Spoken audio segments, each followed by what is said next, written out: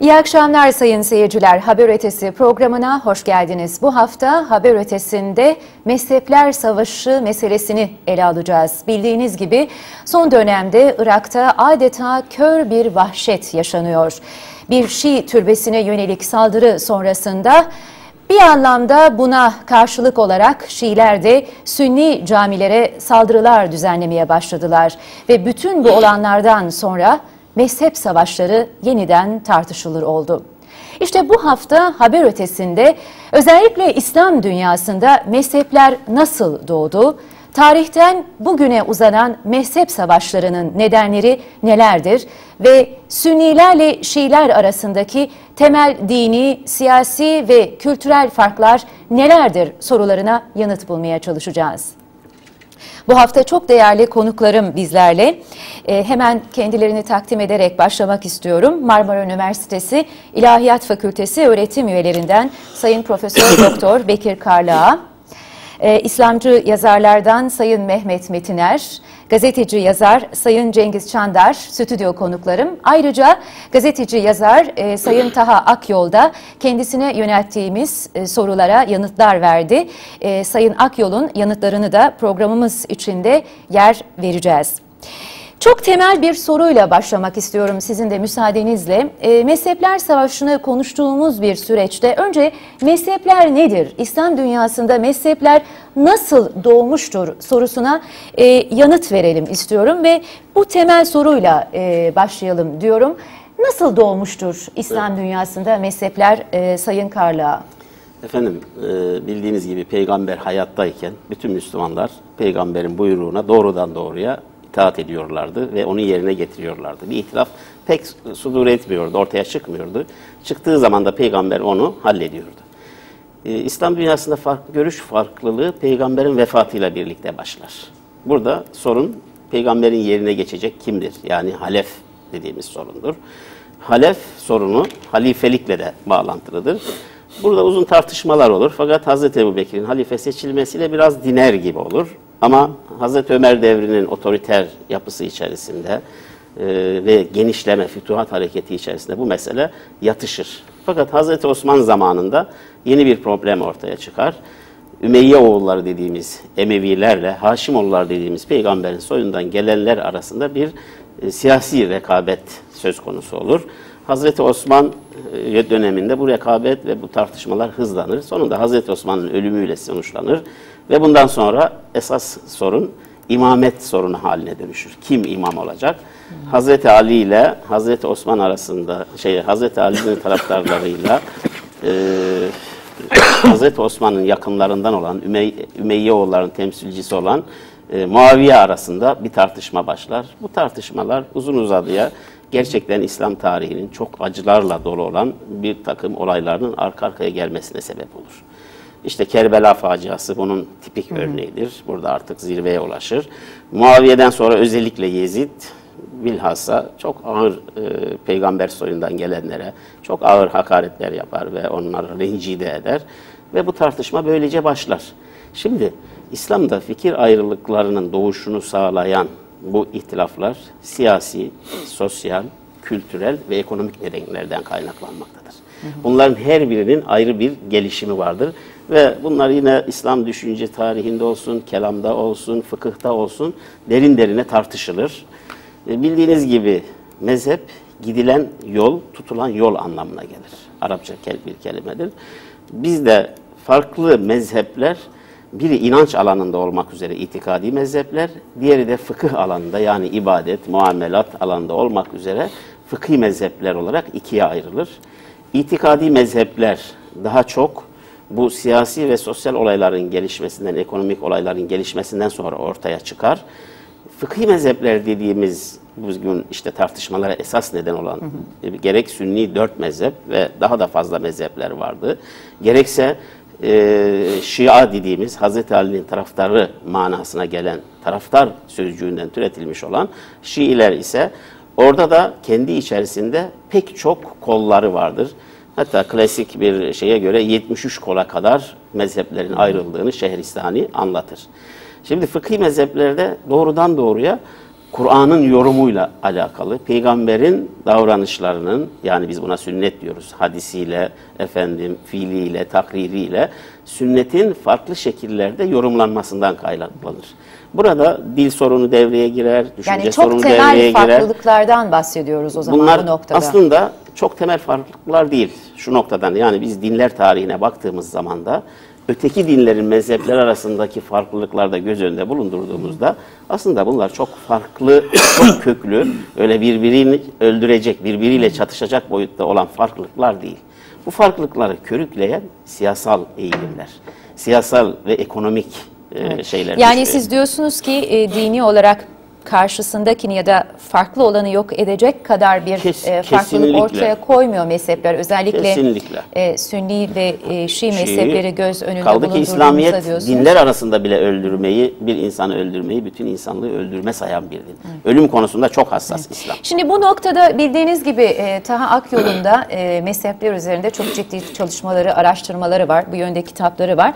Dolayısıyla ben bu çok temel soruyu Sayın Akyol'a da e, sordum. Dilerseniz e, kendisinin verdiği yanıtı hep beraber dinleyelim.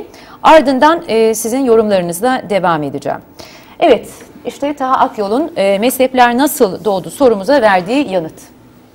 Şimdi e, Kur'an-ı Kerim ve Hazreti Peygamber e, kendisinden e, sonrası için, e, Müslümanlar için bir rejim e, ortaya koymamıştır. Bir yönetim tarzı ortaya koymamıştır. Sadece ahlak, adalet, iyilik, vel adlı ihsan gibi genel prensipler ortaya koymuşlardır. Ama bir rejim, bir devlet modeli, bir devlet müessesesi e, tarzı ortaya koymamışlardır. E, bu sebeple Hazreti Peygamber vefat edince peki şimdi ne olacak? Bizi yönetecekleri nasıl seçeceğiz problemi ortaya çıkmıştır. İslamiyet'ten önce de e, Arap Yarımadası'nda var olan adete göre ileri gelenler toplanarak Müslümanların ileri gelenleri ki bunlar hem kabilelerin temsilcileridir hem Mekkelilerle Medinelilerin e, temsilcileridir. Yani muhacirin ve ensarın e, temsilcileridir. İleri gelenler toplanarak e, Hazreti Ebu Bekir'i seçmişlerdir. Ebu Bekir hem e, dini ve ahlaki faziletlerinden dolayı seçilmiştir. Hem sosyal prestijinden dolayı seçilmiştir. Hem de e, ekonomik ve toplumsal gücünden dolayı seçilmiştir. Ancak bu belirli şartlarda yapılmış olan bir seçimdir. Ondan sonra onun e, tavsiyesiyle işte Hazreti Ömer, Hazreti Osman e, fakat bu seçilenler aynı zamanda İslam'ın yeni coğrafyasını e, içermiyorlardı. Yani Mısırlılar gelip seçime katılmış değillerdi. Yahut İran fethedilmişti, İranlılar. Suriye fethedilmişti, Suriyeliler. Irak fethedilmişti, Iraklılar gelip seçime katılmış değildi. O günkü şartlarda bunu beklemek de zaten mümkün değildir. O gün dünyada öyle bir şey yok. Bir, seçime katılmamış olanlar. İki, Araplar arasında zaten var olan güçlü kabilelerle diğer kabileler, Kureyş ve kollarıyla diğer kabileler arasındaki farklar. Bir de yeni e, Müslüman olanların, mesela Farslıların, İranlıların güçlü bir geleneksel kültür olduğu için egemen Arap kültüründen rahatsız olmaları. Böylece toplum bir kurulu düzenden, yönetimden, imparatorluktan, e, Emevi ve Abbasi imparatorluğundan memnun olanlar, bir de buna tepki duyanlar olarak sosyo-politik bakımdan ikiye ayrılmıştır.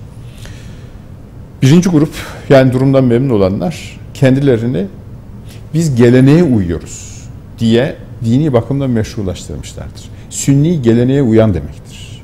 Bunlar mesela Kur'an-ı Kerim'de ulul emri itaat. Bunu yetki sahiplerine itaat diye tercüme edebiliriz. Bir ayet-i kerime var. Bunlar demişler ki işte baştaki halife kimse ona hükümdar geleneğe göre kimse ona devlet neyse ona itaat edeceksiniz diye yorumlamışlardır. Bu şekilde bir sünni doktrin ortaya çıkmıştır. O yüzden Osmanlı Devleti e, çok güçlü bir e, imparatorluk haline gelebildi. Osmanlıların güçlü bir siyasi otorite olması, dinin üzerinde bir siyasi otorite anlayışına sahip olmasını sünnilik desteklemiştir. Beri tarafta bundan rahatsız olanların e, bu doktrini siyaseten desteklemeleri mümkün değildi. Onlar mevcut devlet düzenine, mevcut yöneticilere karşı oldukları için onlara e, muhalif bir siyasi e, görüşü, duruşu meşrulaştıracak bir dini anlayış lazımdı. Hazreti Ali'nin e, şehit edilmesi, Hazreti Ali'nin e, oğlu e, İmam Hüseyin'in şehit edilmesi, bu mağdur kitle için bir sembol ortaya koydu. Ve onlar dediler ki ulul emre itaat demek Hazreti Ali ve çocuklarına itaat demektir. Sünnilerin dediği gibi kurul devlet neyse ona itaat demek, hükümdar kimse ona itaat demek değildir. Böylece sünnilik karşı, sünnilik kurulu düzeni e, desteklerken, e, bu yüzden din adamlarını kurulu düzenin devletin memuru olarak e, telakki ederken, buna karşılık Şiilik meşruiyet kaynağı olarak Hazreti Ali ve çocuklarına, işte 12 imam, 11 tane Hazreti Ali'nin soyundan gelen, bir de Hazreti Ali'nin kendisi, 12 imam ve onları temsil eden ayetullahlar e, meşrudur. Onlara itaat lazımdır diye bu şekilde bir e, kurulu siyasi otoritenin dışında hem ruhani hem sosyal bir otorite teşekkür ettirdi. İşte bu farklı anlayış Şah'a karşı ayetullahların liderliğinde ihtilalin çıkmasına e, yol açtı. Bunu şöyle özetleyebilirim. Sünnilikte Kur'an-ı Kerim'in e, ulul emri itaat, yetki sahiplerine itaat e, emri, e, devleti itaat, hükümdara itaat, e, mevcut halife kimse ona itaat e, olarak e, anlaşılmıştır. Buna muhalif olan, bu siyasi anlayışa muhalif olanlar kendilerine dini bir siyaset teorisi geliştirmek için 12 imamı esas alan bir e, meşruiyet e, anlayışı geliştirdiler. Onlara göre de e, dünyevi otoriteler, e, ister İslam'ı uyguladığını söylesin, ister söylemesin dünyevi otoriteler gasıptır. Esas meşru otorite, tek meşru otorite Hazreti Ali ve onun soyundan gelen 11 imama, toplam 12 imama aittir. 12. imam El-Mehdi e, gayipler alemine gitmiştir. Bir gün geri gelecektir. Otorite onundur. O gelinceye kadar bu otoriteyi ayetullahlar temsil eder. Onun için Orta Doğu'da bir Şii mitingi yapıldığında mutlaka başlarındaki özel e, sarıklarıyla bunlar genelde siyahtır. Matem rengini ifade ettiği için mutlaka ayetullahları görürsünüz. Ama bir sünni mitingi yapıldığında o kadar fazla din adamı görmezsiniz. Evet. Sayın Taha Akyol da hakikaten e, önemli bir tarihsel perspektifi sundu bizler için. Şimdi çok önemli bir nokta var e, Sayın Akyol'un söylediklerinde. E, diyor ki Sünni doktrinin aslında temelinde diyor e, geleneğe uyum vardır. E, bir anlamda karşısında olan Şiilerde de demek ki muhaliflik kültürü hakim e, ve bir anlamda da mağdurdan yana o e, Sünni doktrini simgeleyen statükonun e, yarattığı ortamdan e, mağdur olanların bir anlamda e, sığındığı e, yer e, Şiilik gibi bir argüman getiriyor. E, bu günümüze eğer hal böyleyse bunun bugüne yansımaları Şiiler ve Sunniler açısından e, nasıl oluyor bugüne baktığımızda? Sayın Metiner. Ee, Ben sevgili hocamın, Karlığa hocamın e, açıklamalarını çok e, önemli buluyorum. Çünkü tarihsel perspektif itibariyle önemli buluyorum. Sayın Akyol da bence tarihsel bir perspektifle günümüze bir ışık tuttu. Sanıyorum güncelle olan ilgili yorumlarını Sayın Çandar daha iyi analiz edecektir. Ama şunu çok rahat ve net bir şekilde söyleyebiliriz. Ee, bu çelişmenin, çatışmanın temelinde e, politik, dinsel, e, doktrinal bir yan yatmaktadır. Hilafet seçimiyle birlikte, Hz. Ebu Bekir'in hilafet seçimiyle birlikte Ali taraftarları buna itiraz etmişlerdir. Çünkü Ali peygamberin vefatıyla uğraşırken e, Ebu Bekir'in, Ömer'in bulunduğu bir topluluk Beni Sakife'de e, halife seçimine gitmişlerdir. Buradaki e, ve Hazreti Ali bu seçime uzun süre e, itiraz etmiştir. Tabii ki daha sonraki süreçte Hazreti Ebu Bekir'in otoritesini kabul etmiştir ama burada önemli olan bir itiraz e, geleneğinin, bir itiraz psikolojisinin bir hilafet seçimiyle birlikte ortaya çıkması. Bu politik temelli bir ayrışmadır ama buna dinsel, doktrinal bir şey giydirilmiştir. Nedir o? Burada Hilaf- politik argüman Hazreti Ali'nin e, peygamber soyundan olması ve eğer Hazreti Ali e, halife olursa bir anlamda soyun devamı gibi algılanmasından kaynaklanan bir çekince mi? Bir, bir boyutu o, bir, ama bu çok e, e, dünyevi bir yaklaşım e, bir anlamda. Çünkü salt iktidarın devamı biçiminde anlaşılmaz. İmamet teorisinde yani Sünniliğin esas aldığı hilafet teorisiyle Şiilerin esas aldığı imamet teorisi bence e, bünyesinde akaidi de ilgilendiren çok ciddi bir çelişkinin, çatışmanın temelini oluşturmuştur. Yani imamet teorisi şu, peygamber vefatından az önce Hazreti Ali'yi kendisinden sonra imam olarak atayacakken e, Ebu Bekir ve Ömer bunu engellemişlerdir.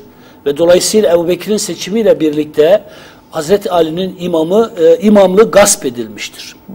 Gasp sözcüğü yani Ebu Bekir'le Ömer'in tırnak içinde hile yoluyla Hazreti Ali'nin e, imametini gasp ettiğini. Ve burada e, imamet teorisi tamamen şu anlama geliyor. Peygamber vefatından sonra Hazreti Ali ve Hazreti Ali'den sonra da çocuklarının e, imam olduğu bir yönetim modeli. Tabii bu e, tartışmanın temelinde bu ayrışma yatıyor. Yani sevgili hocamız çok ayrıntısına girmedi ama politik bir ayrışmanın dinsel, doktrinal bir veçeye Ama bu nasıl bir o zaman e, İslam anlayışı ki biraz önce Sayın e, Bekir Karlağan'ın da belirttiği gibi her şey Hazreti Muhammed'in ölümünden sonra başlıyor. Yani daha e, Peygamber Efendimizin ölümünün akabinde bu tür tartışmalar e, hilafet dönemi boyunca, halife dönemi boyunca, dört halife dönemi boyunca devam ediyor. Sonrasında da çok daha ciddi e, farklılıklara, ayrışmalara, çatışmalara, savaşlara dönüyor.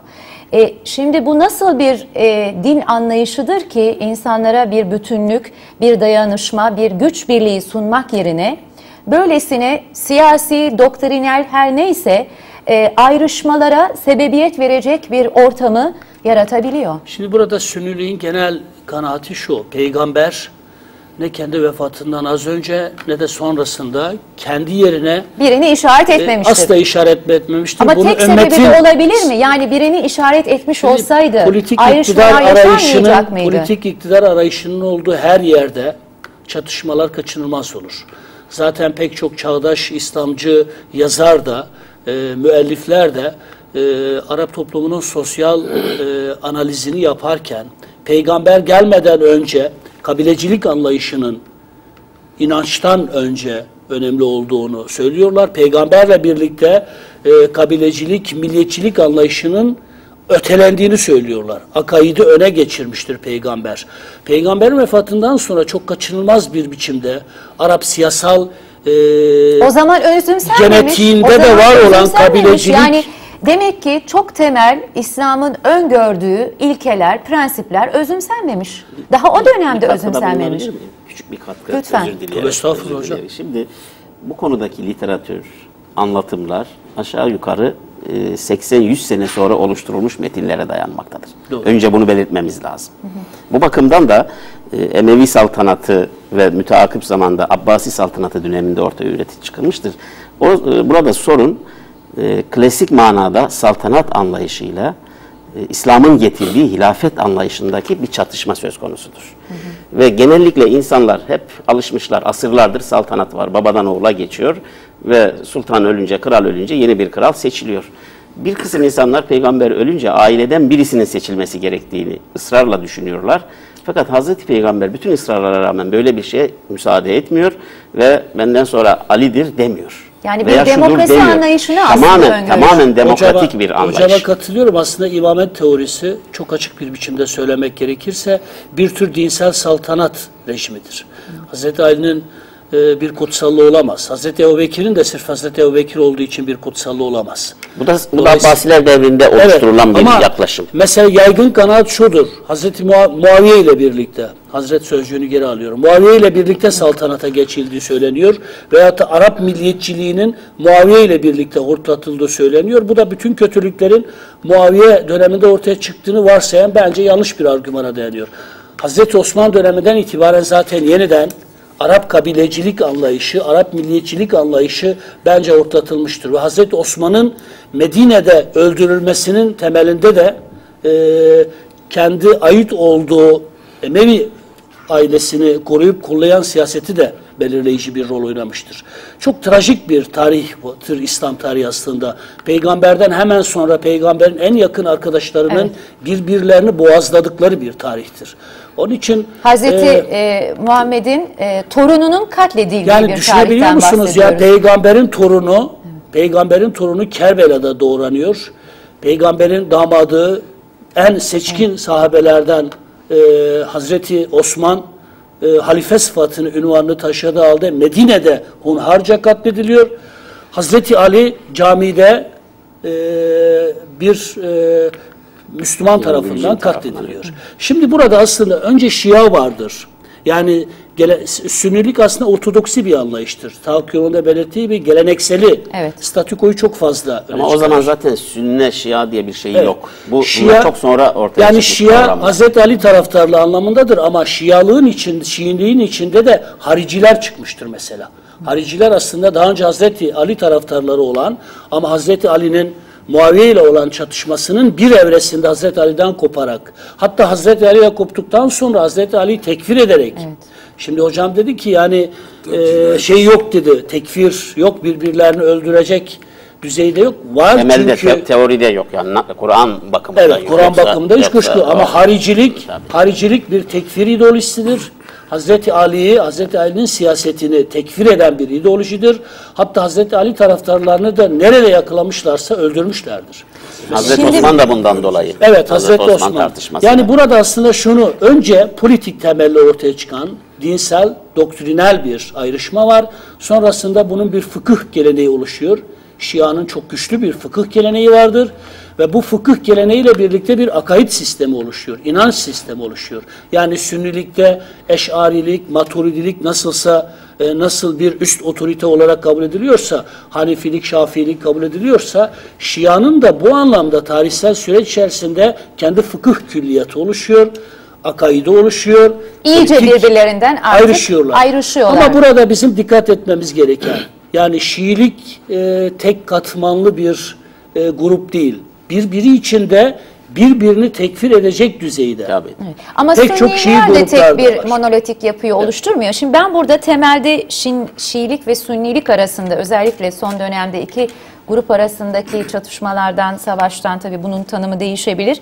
Ee, hareketle e, bu konuyu irdelemeye çalışıyorum ve e, Cengiz e, Çandar'ın e, söylediği bir sözle devam etmek istiyorum. Siz diyorsunuz ki Şinni ve Şii ve Sünni ayrılığı Müslüman Hristiyan ayrılığından çok daha şiddetlidir ve derindir. Şii-Sünni çatışması 1400 yıllık mazisi olan bir kan davasıdır diyorsunuz. Bir küçük önünü açmak için söyleyeyim. Üstadın o düşüncelerine katılıyorum. Analizlerini de biliyorum. Zarkavi ve Usame Bin Laden gibi İslamcıların mantığına göre bugünkü Şiiler katledilmeyi hak eden sapık insanlardır. Ve dolayısıyla bizim tarihimizde de pek çok Şeyhülislamlığımız Alevilerin, Kızılbaşların, Rafizilerin yani Şiilerin e, katledilmesi gerektiğine dair fetvalar da vermişler. E farkındaysanız biz aynı dine mensup Evet.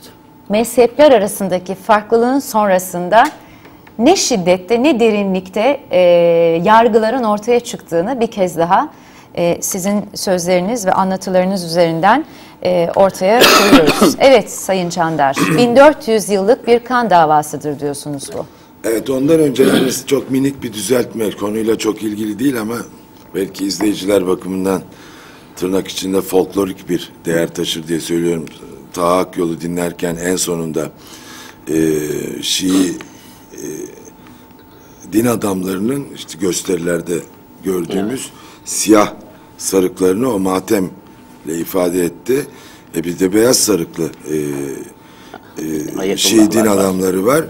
Oradaki fark e, şuradan gelir hiç e, matemle doğrudan ilişkisi olan siyah ya da beyaz farkı oradan ge- gelmez. Siyah sarıklı olanlar Seyit ünvanına sahiptir. Peygamber, Peygamber soyundan soyundan. geldiğine inanılır. Beyaz sarıklı Şii din adamlarının ise e, peygamberle kan bağı olmayan bir şekilde geldiği e, kabul edilir. Onların da sıfatı şeyhtir. Birine seyit derler, diğerine şeyh derler. Ama matebe de çağrıştırdığı söylenebilir. Yani. E, o, o tarafı var ama Ondan e, başlamışsa da esas beyaz beyaz gerekçe sarık giyenler Tabii. Hazreti Hüseyin'in matemini tutmuyor anlamına gelmiyor tabi. bir de e, dini otorite anlamında bir özel üstünlük de ifade etmez o. E, Ama seçimde tercih sebebi. oluyor. Evet yani tercih, tercih, sebebi oluyor ama, ama mesela etkilemez. Rafsanjani İran'ın önemli şahsiyetlerinden o beyaz sarıklıdır. Falan. Yani öyle bir, bir beyaz sarıklı bir sürü de e, Şii din adamı görüyoruz. Neyse konumuz bu değil dediğim gibi folklorik bir Ama şey. önemli e, bir ekleme. Girdi. Ama çok sürekli tekrarlanan bir yanlış da oluyor bazıları tarafından. Ee, evet. Ba- Başka zamanlarda da. Ee, şimdi e, sizin e, soruya referans teşkil eden cümlemi ifadedeki kastımı söyleyeyim önce ben.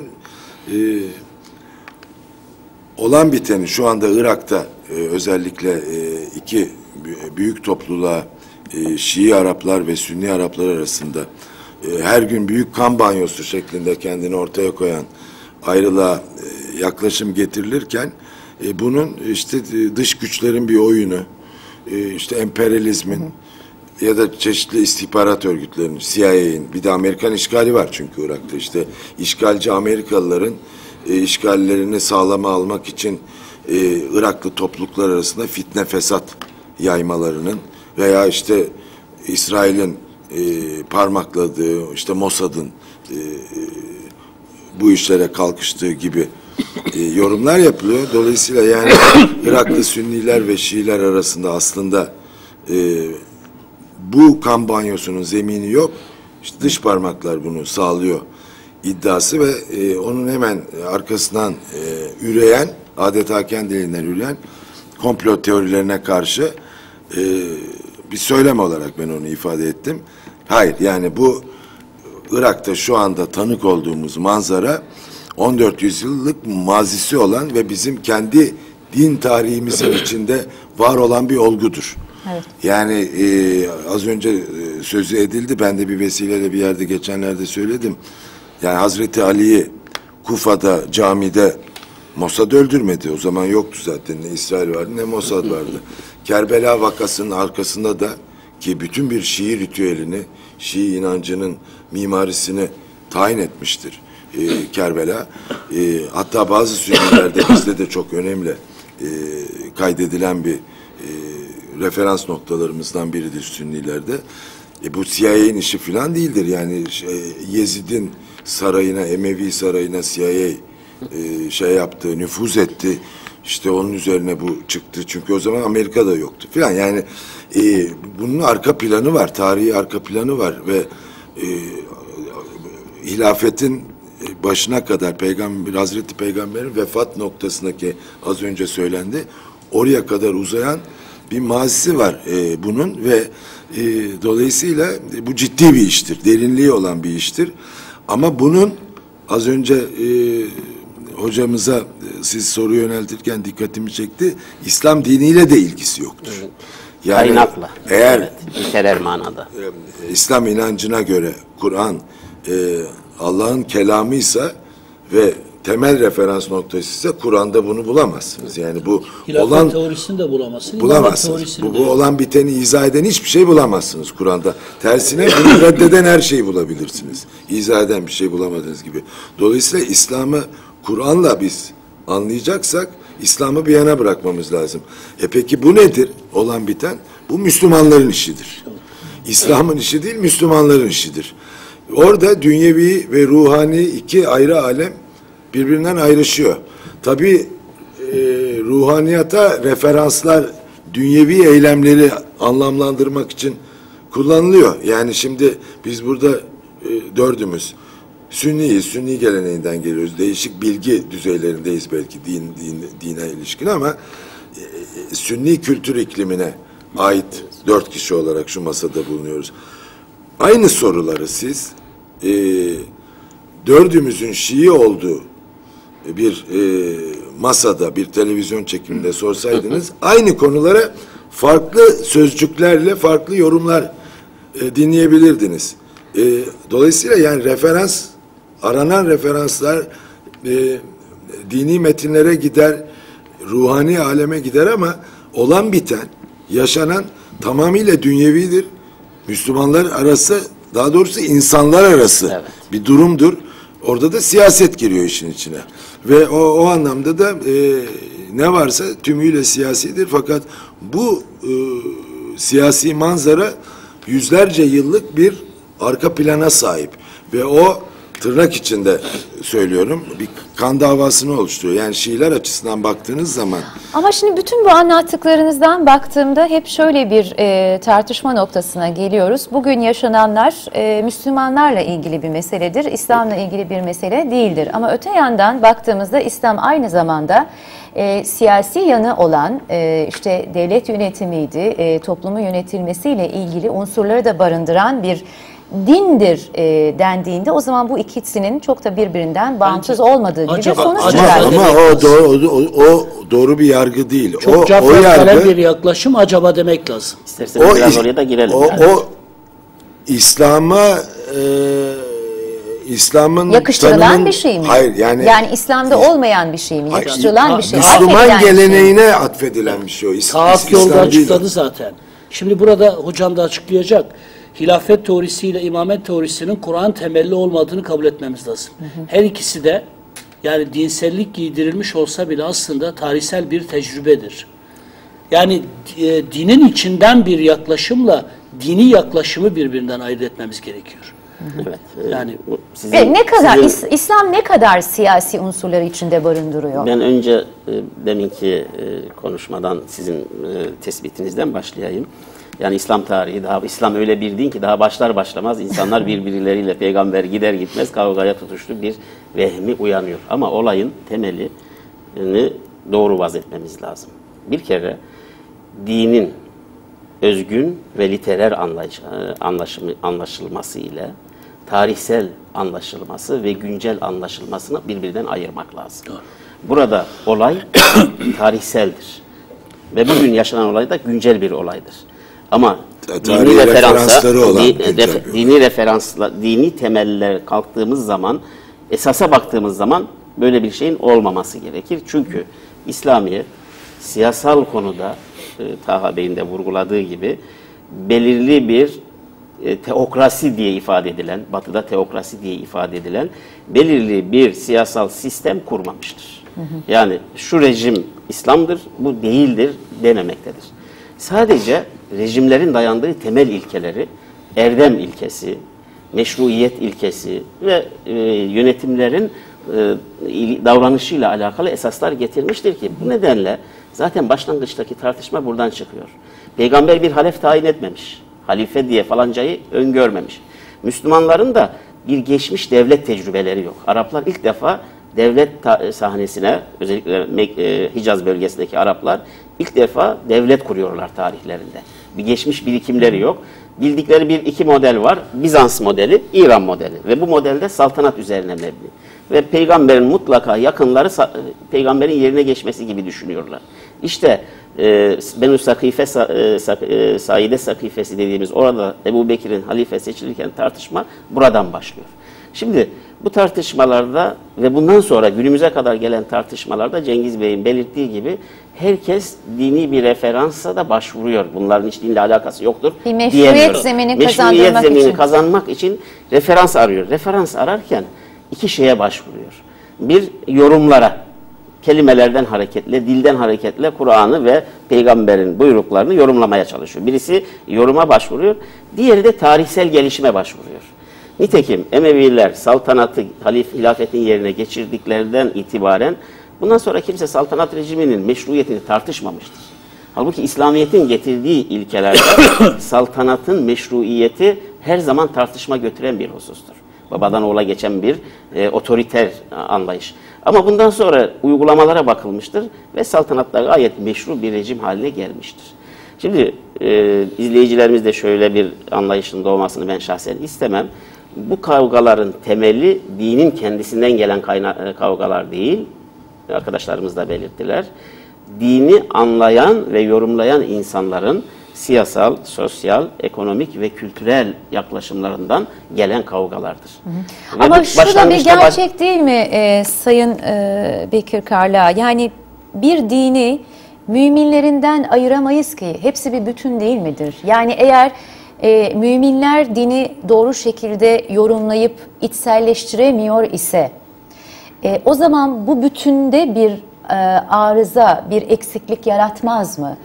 Yani e, din farklı, müminler farklı. Eğer Müslümanlar e, bunları yapıyorsa o onların sorunu diyerek bu işten sıyrılabilir miyiz? Elbette ki sıyrılamayız. Ama olayları tam yerli yerine yerleştirmemiz lazım. Bu olaylar İslam tarihinin ilk 100 senesinde cereyan etmiştir. Ondan sonra stabil bir durum ortaya çıkmıştır. Zaten e, yanlış da anlamayan mezhepler bundan sonra teşekkül etmiştir. Bu olayların üzerine mezhepler teşekkül etmiştir. Bir de şunu da söyleyelim. Yani sünniliğin özünde e, şey bağımlılık getiriyor. E, şey de e, karşı çıkıyor tamamen bağımsızlık getiriyor gibi bir anlayışa da şey vermiyor, yer vermeyelim. Bu daha çok Abbasi saltanatı döneminde Sünnilerin artık geçmiş olaylardan da ders alarak böyle her önüne gelenin baş kaldırıp devleti yıkması anlayışını önlemek üzere geliştirdikleri bir sistemdir ki bu sistem olmasaydı belki daha bu ihtilaflar İslamiyet'i ilk yüzyıllarda söndürecek noktaya gelirdi. Halbuki bu ihtila- bu sistemdir ki İslam'ı stabil hale getirmiştir. Yani hocamın dediğine ben de katılıyorum. Yani sünni öğreti biraz da devleti korumak ve kullanmak adına bir kaosu ortadan. Çünkü çatışma giderek derinleşince kaos neredeyse e, yaygın bir anlayışa dönüşünce yani İbn Teymiye, İmam Gazali gibi işte e, Çok daha yakın önce İmam Eşari. İmam Eşari gibi e, bunlar şey yapmaya başlamışlar. Ya kaos ve çatışma e, toplumu yiyip bitirebilir. O yüzden en kötü haliyle bile devlete itaat etmek, ulul emre itaat etmek e, dinsel bir zorunluluktur gibi. Yani sünni öğreti bu anlamda. O zaman siyasi otoriteyi Ama korumak bu şu anlama gelmiyor. Yani Şiilik, olarak sunulmuş. Şiilik her dönem bir itiraz ideolojisidir anlamına gelmiyor. Şiiliğin de devlet olduğu dönemler olmuştur. Abbasiler Şiilik adına devlet iddiasında bulunanlar olmuştur. Şu anda var. Hem de çok İran var. Evet. çok Şu devletler an mesela vardı. Mollarşi rejimi, Mehmet Çelik'in tanımlaması bu sevgili Mehmet Çelik. Mollarşi rejimi statükonun en katı Evet çünkü orada da bir çelişki var. Şiilik- Yani madem bu kadar muhalifsiniz var orada. o zaman evet yani bir ulema Küçük sınıfını kabul edip onlara e, Tarih. e, yani hiç hata yapmayan insanlar olarak kabul edip böylesine biat etmek de e, Öyle kendi şey başına bir yok. E, zaten çelişki. şey yok. Güncelle bağlantılı bir yorum yapayım. Küçük Lütfen bir onu alalım çünkü ilk turu tamamlayıp bir ara Şimdi, vereceğim. e, Şiiler hep şunu söylemişlerdir. Yani peygamberin vefatı daha tazeyken, Hazreti Ali de orada taziyeyle uğraşırken Ebu Bekirler hemen Ebu Bekir oraya sonra gitti. hayır hayır yani Ömer götürdü. ama öyle derler. Öncekiler vardı ama başka sahabeler. Böyle hemen halife seçip ilan ettiler. Şimdi tarih o kadar şeydir ki güçlüdür ki bir de insana tükürdüğünü yarattırır ki Homeyni vefat ettiğinde açıklamadılar. Açıklamadılar. Hubrigan meclisini topladı mollalar. Yeni e, dini rehberi belirlediler. 2-3 gün sonra açıkladılar. O zaman ben de bir vesileyle İran'a gitmiştim. Şey sormuştum. Bu tarihsel tezinize ne oldu? Niye Hümeyni'nin e, ölümünü ilan etmediniz? Niye hemen böyle e, bir rehber seçimine gittiniz? Demek ki devlet yönetirken bazı başka zorunluluklar söz konusu olur. Yani itiraz etmek kolaydır ama devlet yönetimi esnasında da evet peygamberin ölümü tabii ki Müslümanlar Yani devlet yönetimi dediğimizde de işin içine tabii ama o anda da dünyevi, dünyevi kaygılar e, ama giriyor. bir anda da şeyin gitmesi Evet, gerekiyor. bu Yani noktayla devam edeceğiz çünkü bu tartışmalı bir mesele ama müsaade ederseniz kısa bir ara verelim ardından kaldığımız yerden programımızı sürdüreceğiz. Evet, haber ötesinde bu hafta özellikle son dönemde Irak'ta iki mezhep arasında yaşanan saldırılar ve e, şiddet sonrasında mezhep savaşlarını gündeme taşıdık ve bu konuyu çok değerli konuklarımla ele alıyoruz. Sayın Cengiz Çandar, e, Sayın Mehmet Metiner ve Profesör Doktor Sayın Bekir Karla bizlerle e, Taha Akyol'da sorularımıza verdiği yanıtlarla programımıza katkıda bulunuyor. Evet en son kaldığımız nokta şuydu. E, Tabii kesin hatlar çizerek e, kategoriler içinde değerlendirmek yanlış olabilir ama genel eğilimler üzerinden hareket edecek olursak e, Sunnilikle ilgili olarak e, işte bir devlet, e, bir sistem, bir statüko söz konusu olduğunda e, Sünni öğreti daha bu yönde bir eğilimi taşıyor. E, Şiilik ise e, statükoya karşı daha muhalif e, unsurlar içeriyor e, noktasında kalmıştık ve buradan hareketle ben Sayın e, Çandar'a döneceğim ve Tarihten e, günümüze geldiğimizde bu gerçekten böyle midir? Mesela bizim kendi tarihimizde Osmanlı döneminde bir e, Osmanlı Safevi mücadelesi var. Bir Yavuz Sultan Selim e, Şah İsmail e, mücadelesi var. E, ve bu söylediğimiz unsurları bu mücadele bir anlamda e, kanıtlamış, ispatlamış oluyor mu? Böyle yorumlamak doğru olur Ama mu? Şiilik de tarihte kendi statükusunu oluşturdu. Bugün de zaten çok derin bir statükusu var. Evet, o da bir başka unsur. O da çünkü kendi içinde bir çelişkiyi ba- barındıran bir unsur. Ona da geleceğiz ama önce tarihten günümüze bir yaklaşım sergilemek anlamında kendi tarihimizden e, örnek vererek e, bu konuyu değerlendirmek Bu, istiyorum. bu kanaat yaygın bir kanaat. Çok çok da haksız bir kanaat değil ama tümüyle isabetli de değil. Yani Sünniliğin bir ortodoksiyi, gelenekçiliği, işte ulul emr e, ilkesinden ötürü statükoculuğu, e, devlet yönetimine riayeti e, ifade ettiği, Şiiliğin ise işte bir başkaldırı e, geleneğini ifade ettiği gibi e, yorumlar var. Tam e, sorduğunuz noktadan girersek işin içine e, Osmanlı Safevi ihtilafı açısından baktığımızda e, bu tez orada takılıp kalıyor. Çünkü Osmanlılar devlet, e, Safeviler ne? Devlet değil mi Safeviler? E, Safeviler de devlet ve hatta öyle ki İran nüfusunun çok büyük çoğunluğu yani İran adındaki coğrafyanın nüfusunun büyük çoğunluğu Safeviler gelmeden önce Sünniydi. Sünni coğrafyaydı. Yani İran'ın Şiiliği Safevilikle birliktedir ve bir devlet dini gibi adeta e, gelmiş Safevilik e, oraya yerleşmiştir ve Türk hanedanıdır üstelik. Ve Osmanlılardan e, safkan, ölçüm anlamında daha, Daha Türktür. Çünkü Osmanlı padişahları gayrimüslimlerle de evlene evlene e, devam etmişlerdir. Safeviler işte bugünkü e, Azerbaycan e, halkıyla aynı etnik e, yapıyor. Hatta Irak'ta Türkmenlerle aynı e, etnik e, maziye e, arka plana sahiptirler ve daha safkan Türktür ve e, koyu bir Şii e, teolojisini devlet dini olarak getirmişler ve İran nüfusunun çoğunu Şiileştirmişlerdir Safeviler. İran'ın e, bugün bile dünyada Şiiliğin e, e, siyasi karargahı olması ta o döneme dayanır. Dolayısıyla Osmanlı Safevi ihtilafına baktığımız zaman da bu bir siyasi mücadeledir netice itibariyle ve iz düşümünü e, sonuçlarını bugüne yayacak şekilde Irak'a bırakmıştır. Irak'taki Arapların bir bölümü Sünni, bir bölümü Şii. Şiiler e, ya Irak'taki Şii Sünni e, mazisi Osmanlı Safevi savaşlarına kadar gider. Yani Osmanlı Safevi arasında Safevi arasındaki e, savaş bir mezhep savaşı değil midir? Mezhep Siyasi savaşı, bir savaş elbette. mıdır? Şimdi Mezhep ama bunlar iç içe verilmiş, giriyorlar. Görünümü verilmiş. Yani e, az önce e, adı geçti şimdi Rafıziler e, deniyorsa yani bir sapmayı ifade ediyor Sünniler nezdinde Şiilik. Bugün Irak'ta e, direnişçiler ya da isyancılar denen siyasi e, şeye göre eğiliminize göre hangi kelimeyi kullandığınız da önemli. Ben geçenlerde Bağdat Havaalanı'ndan e, şehre giderken şoför bir semti işaret etti dedi. Buradan dedi sürekli saldırı olurdu dedi. Her anda olabilir dedi filan. Cihad adında bir semt. E, ben Arapça ona direnişçiler mi var burada dedim. Döndü ne direnişçisi teröristler dedi şoför. Hemen anladım ki şoför Şii. şoför sin- Sünni olsaydı mukavvimun diyecekti direnişçiler. Ee, İrhabiyin deyince anlıyoruz ki şey teröristler dediğine göre şoför Şii. Yani e, kavramlar böyle de fark ediyor. Adınız Osmansa, e, Ömerse Şii semtlerinden bugünlerde uzak durmakta yarar var.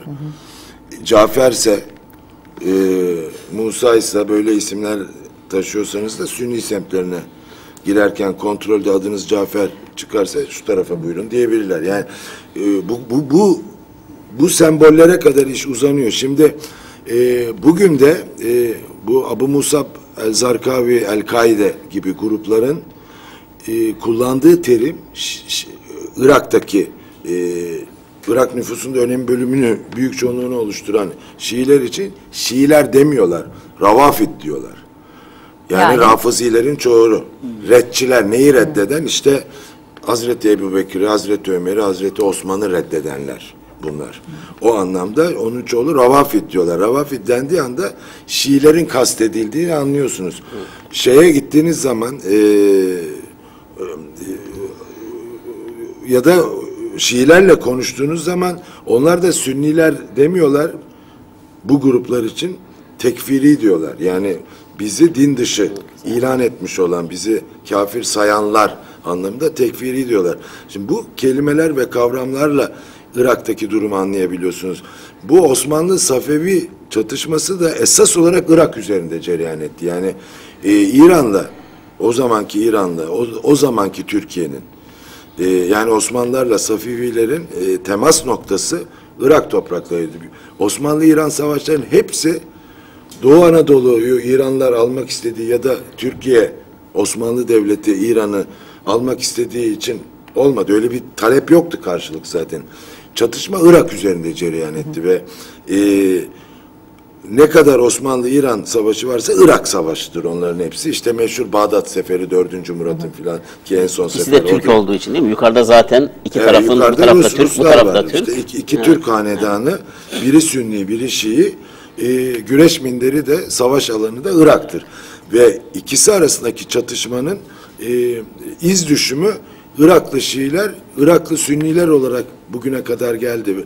Hani deniyor ya e, bu işte dış güçlerin oyunudur şu andaki Şii-Sünni çatışması. Eskiden Irak'ta hiçbir zaman böyle bir şey olmadı. Irak'ta hep böyle oldu. Hazreti Ali'den beri Kerbela'dan beri her zaman bir çatışma vardı. Tarih içinde de Irak'taki Şii-Sünni çatışması Evet, İlk başta da Eklemettin'in sözüydü bu biliyorsunuz. Irak'ta bugüne kadar hiçbir mezhep savaşı yaşanmamış. Ee, şeyde e, 1990 yani Osmanlı Safevi e, çatışması, Türkiye-İran çatışması Irak'ta Irak e, zemini üzerinde baktığınız zaman Sünni-Şii çatışmasıdır. Evet. Şimdi- Bugüne getirdiğiniz Bugüne zaman da gelmeden önce- 1991'de Bugüne gelmeden önce Sayın Çandar çünkü bugünü e, son olarak işleyeceğiz ama e, biraz da kendi tarihimizi e, de sorgulamak anlamında Osmanlı Safevi mücadelesini bir mezhep savaşı olarak algılamak ne kadar doğru e, sorusunu e, Sayın Taha Akyol'a da yönelttik. Müsaade Ya, ederseniz Bir cümle söyleyeyim geçmeden. Mezhep referansıyla siyasi bir savaştır. Tabii ki Aynen. siyasidir. Aynen. yani. Evet. Şimdi bu konuyu biraz daha netleştirmek adına Sayın Taha Akyol'un e, yanıtını hep beraber izleyelim. Ardından sizin yorumlarınızla devam edeceğiz. Mezhep tarafı çok kuvvetli olmakla beraber bunu sadece bir mezhep savaşı olarak e, görmek doğru değil. Çünkü tarihte e, Sünni devletler arasında da savaşlar olmuştur. Şah İsmail ile Yavuz Sultan Selim arasındaki mücadele mezheplerle ifadesini bulan yahut dönemin şartlarında meşruiyetini mezhep e, iddialarından alan siyasi bir mücadeledir. Bir egemenlik mücadelesidir.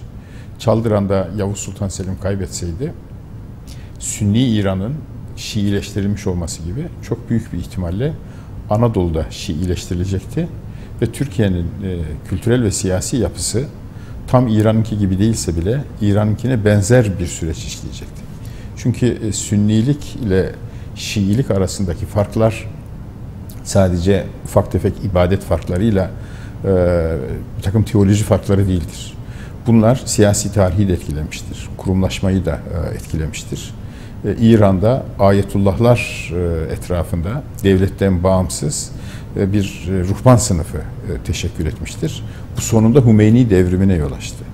E, Osmanlı'da ise yahut Sünnilerde ise e, din adamları bir ruhban sınıfı, bir karizmatik e, ruhani sınıf e, oluşturmadıkları için devlet memuru olmuşlardır. Devlet memuru oldukları için de zaman içerisinde devletin politikalarını benimsemeleri, e, Tanzimat'tan sonra modernleşme hareketlerine bazen sessiz kalmaları ama bazen e, destek vermeleri, e, Mecelle gibi bir hukuk reformunu desteklemeleri nihayet Cumhuriyet'le sonuçlanacak olan modernleşme süreci Türkiye'de farklı bir seyir takip etmiştir. O yüzden Şah İsmail ile Yavuz Sultan Selim arasındaki mücadele İran'ın ve Türkiye'nin siyasi geleceklerinin çok farklı bir seyir takip etmiş olmalarından anlaşılacağı gibi sadece mezhep mücadelesine indirgenemez. Bu bir hakimiyet mücadelesidir. Sayın Akyol bir anlamda Yavuz Sultan Selim ve Şah İsmail arasındaki o dönemde yapılan e, savaşın sonrasında alınan sonuçların bugüne kadar yansımalarını özetlemiş oldu. E, biraz önce e, Sayın Mehmet Metinler'in de söylediği gibi yani e, eğer Şiiliği bir e, muhalif kültür yansıması olarak algılayacak olursak o zaman bugünkü ruhban sınıfını e, ulema sınıfını ve ona e, koşulsuz biatı açıklamak nasıl mümkün olur sorusu da akla geliyor. E, dilerseniz sizinle devam edelim e, Sayın Bekir Karlığa. E, Bir, bu bir noktadan ya da tarih... eder misiniz hocam? Yani Buyurun, çok buyurun. kısa ederim. yani Buyurun, tabii bu tabii. soruyla Buyurun. e, devam etmeden önce belki bir e, açılım imkanı bakımından. Şimdi Şiilikte çok kuvvetli bir mağduriyet kültürü var. İşte Hazreti Kerbela Ali'nin öldürülmesi ve en önemlisi Kerbela'dan gelen. E, Allame Tabatabayi'nin Şia kitabında okuduğunuz vakit 12 imamın Hasan, İmam Hasan hariç ikinci imam hemen tümü öldürülmüş. Mesela Kim öldüren kim? Emeviler, Abbasiler, siyasi otorite yani. Ve buradan kaynaklanan ve Mehdi inancıyla da iyice beslenen o mağduriyet kültürü dünyevi iktidar, ruhani e, takipçilik, iktidar e, böyle fark ediyor. İmamet teorisi geliyor. Yalnız bu Şiiliğin kendi içinde e, ilginç bir ayrıma da gidiyor.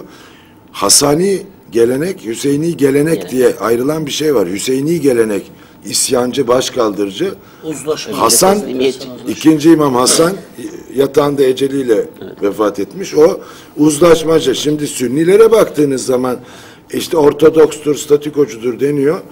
Selefilikle beraber, yanılmıyorsam 13. yüzyılda İbn Teymiye'den başlayan evet. akım, bugün Anladım. o akımın uç noktası işte El-Kaide ve çeşitli Selefi akımların e, bugün şiddet kullanan e, ve bütün bir dünya sistemine baş kaldıran unsurları var. Bırakın şeyi bir devlet otoritesinin statükoyu temsili El-Kaide diye kavramlaştırılan ve kökü ta Selefiliğe giden akım bugün ne devlet tanıyor ne bir şey tanıyor. Uluslararası iktidara Evet. karşı Ama bugün Şiilik durumda. dediğimiz zaman daha çok ağırlıklı olarak tarihsel e, perspektifi de dikkate alacak olursak İran e, akla geliyor ve e, İran'da işte e, deminden beri konuştuğumuz bir 12 imam meselesi ve bunun işte biraz önce belirttiğiniz gibi bir Mehdi kültürü Evet. var. Ya bütün bunlara baktığımızda e, gerçekten e, Sünnilikten çok ayrılan e, temel bir farkı barındırıyor. E, bunu nasıl açıklayacağız? Yani hem e, muhalif olmak e, bir mağduriyet kültürü, e, sisteme, statükoya, e, devlete karşı bir duruş hem de işte e, mollalara e, hatta faultless yani onlar öyle ki o imamlar hiçbir zaman bir hata Ma- yapamazlar. masum imam, masum E, masum imamlar Masum ve imam. hiçbir zaman sorgulanamazlar ve onlara koşulsuz biat etmek e, bir zarurettir, zorunluluktur. E, o zaman bunu nasıl açıklayacağız? Bu bir İmam- çelişki, İmamlarla ayetullahlar aynı şey değil. bir çelişki değil midir kendi içinde? Şimdi efendim e, konuştuğumuz saha o kadar çok geniş ve o kadar çok sorunları bera- içinde tar- e, barındırıyor ki tabii ister istemez biz böyle atlama taşı gibi bazı şeyler üzerinde duruyoruz. Öncelikle ben şu temel espriyi bir daha vurgulamak istiyorum. Ne dinler ne mezhepler kendiliklerinden kavga konusu değildirler. Siyasal irade, ekonomik e, şey- şeyler, rekabet vesaire diğer şeyler daima bunları kullanarak kendi amaçlarını örgütlemektedirler. Şimdi Safevi Osmanlı e, Savaşı'na bakacak olursak burada bir Şii-Sünni savaşının ötesinde bir iktidar mücadelesi olduğunu e, Taha Bey gayet güzel açıkladı. Yavuz Sultan Selim'in divanını okuyun. Şeyden Şah İsmail'den çok daha fazla Hazreti Ali taraftarı ve çok daha fazla Ehli Beyt taraftarı. Öyle gözüküyor değil. E, bizzat da Osmanlı sultanlarının birçoğu da böyle. Şimdi o devir metinlerine baktığımız zaman ben biraz inceledim o devir metinlerini. Öyle iki taraf birbirine siyasal olarak düşman kamp hale gelmiş. iki taraf birbirini kafir ilan ediyor. Bir o devirde Sünni, İran'da yaşayan bir Sünni bilim adamının mektupları neşredildi. Daha şuradan 5-6 sene evvel. 1700'lerde, e, 1700 yani ondan biraz sonra ye- 1600'lerde neşredilen bu mektuplara bakıyoruz. Adam diyor ki biz diyor şuradan geçerken 25 tane bilim adamıydık diyor. Hepimizi tuttular. Bunlar e, şeydir diye, e, sünnidir diye kestiler diyor. Şimdi aynı şekilde bir de Türkiye'de yapılan e, Şiilere yahut da Rafıziler o zamanki tabirle yapılan e, zulümler de söz konusu. Şimdi aslında bu iki imparatorlukta, imparator kardeş imparatorluktur. Cengiz Bey vurguladı. Yukarıda iki her ikisi de Türk. Her ikisi de aynı e, kültürü de paylaşıyorlar. Ama aşağıya indikleri zaman Irak bölgesindeki oradaki o şeyi, e, çatışmayı sürdürüyorlar. Şimdi e, buradan biraz daha öteye gidecek olursak, bugünkü imamlar rejimi ve mollalar rejimi aslında bugün oluşmuş e, şey eskiden var olan bir rejim değil. Özellikle Safevilerden sonra oluştu. Ayetullah sistemi mesela Safevilerden önce de yok, Safeviler döneminde de yok. Safevilerden sonra oluştu. Ve Ayetullah düzeni içerisinde masumiyet fikri Şia'da o mağduni, mağlubiyet fikrinden dolayı devamlı gerçekten katledilmiş, zulmedilmiş olmalarından dolayı ve bunun da siyasi istekten dolayı isyanlar oluyor, siyasi kışkırtmalar oluyor. Tabi saltanat rejimi bunlara karşı çıkıyor. Özellikle Abbasiler döneminde. Emeviler başta zaten onu demin söyledik. Şimdi bu siyasetle iç içe yürüdüğü için bunun ikisini birbirinden ayırt etme imkanımız kalmıyor. Fakat burada e, hakkını yemeyelim. E, iki e, şeyin İmam Hümeyni bu çatışmacı, bu birbirine düşman olan anlayışı büyük çapta hafifletmeye çalıştı. Fakat Hümeyni'den sonra aynı anlayış yeniden tepti. Çünkü toplumların geçmiş birikimlerini, tarihlerini, kültürlerini birdenbire Peki unutmaları mümkün Hümeyni'ye o olmuyor. dönemde yapılan 12. imam yakıştırmaları doğru muydu? Yok, Dinen, yok, yok e, uygun kesinlikle muydu? değil zaten hatta bekliyor o. Bek- Ama bu Mehdi'nin- yakıştırmalar Mehdi'nin bir anlamda. Hümeyni rejiminin sorgulanmamasını e, e, sağlamak adına yapılmış yorumlar değil miydi? Bu bütün otoriter rejimlerde olduğu gibi Hümeyni'den sonra bir Hümeynicilik üretildi. Hümeyni kendini bunu zaten Hümeyni kendisi bunu teorize etti devrimden önce Velayet-i. Fakih kitabında. Yani İmam Mehdi beklenen imam gelinceye kadar ayatullahların onun adına yönetimi devralmaları Yani gerekiyor. imam dediğimiz şey, imam bugün imam diye ifade ettiğimiz şey Mehdi gelinceye kadar yönetimi e, ve dini otoriteyi. Bu yönetim de değil. Mehdi'yi beklemek, Ha, bu vekil Mehdi, imam, bir vekil Vekil imam, evet, vekil imam. vekildir. Mehdi'yi beklemek, Evet. e, Hristiyanlardaki Mesai, Mesih'i beklemekle paralellik arz etmiyor. mu? Aynı kökten geliyor, büyük çapta. Büyük çapta Yahudilikten kaynaklanan, Hristiyanlıktan kaynaklanan bir anlayıştır.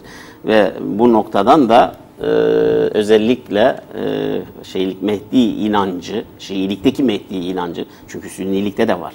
Bu, bunlar o kadar birbirlerini zaman içerisinde etkiliyorlar ki, mesela 17. yüzyılda e, İsfahan şeyi var, e, Rönesansı dediğimiz bir Rönesans hareketi var. Orada İsfahan oluyor, e, bizde e, İbrahim Paşa, damat İbrahim Paşa'nın Lale Devri başlıyor. Bunlar hem birbirleriyle düşman, Şii ve Sünni dünya, hem de birbiriyle çok etkileniyorlar. Şimdi Sünnilik Mehdi inancında pek çok noktada Şiilikten de etkilenmiştir. Şiilik Mehdi konusunda Hristiyanlıktan ve eski kültürlerden. Bir başka vurgulamak istediğim bir şey var. Bu Irak ülke, bölgesi bir kültürler, medeniyetler diyarıdır. Üst üste sanki arkeolojik bir kazı gibi bütün medeniyetler buralarda oluşmuş olduğu için her biri bir iz bırakmıştır. Onun için e, Hazreti Ali'ye atfedilen bir söz vardır. Ey Irak ehli, ey Fırak ehli. Ehli Irak, ehli Fırak. Yani çat, parçalanma, bölünme halkı diye. Irak'ın bu bugünkü yapısı da, Daha dünkü yapısı da zamandan- daha o zamandan Babililer gelmiş bir şey eklemişler, İranlılar, Romalılar, Bizanslılar, biz gel, İslam gelmiş, sonra Abbasi bir yığın devlet kurulmuş, sonra biz gitmişiz oraya. Her bir kültür de orada bir iz bırakmış. Böyle olduğu için burada bir yandan çok iyi bir kültürel sentezi verebilecek iken ne yazık ki ihtilaflar ve bölgenin özel konumu bir de tabii zenginlikleri. Bugün zenginlik olduğu gibi dün de zenginlik vardı o bölgede. Çünkü tarıma e, müsait arazilerdi, sulanan Dicle, arazilerdi. Fırat, Dicle. Fırat, Dicle, işte Mezopotamya. Şimdi böyle olduğu için hemen hemen her e, şeyin, e, de- büyük devletin burada gözü olmuştur.